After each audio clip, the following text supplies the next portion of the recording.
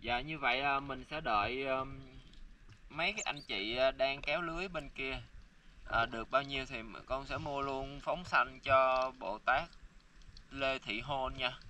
Hồi nãy con mới mua hai trăm rưỡi rồi. Dạ. Đó bây giờ con đợi giải cứu tiếp. Con và rái cá Titi sẽ ở đây chờ.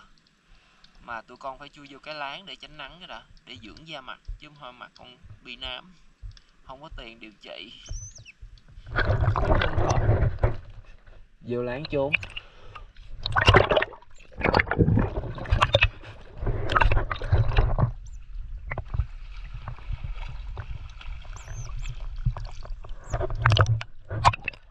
Đi, đi trốn.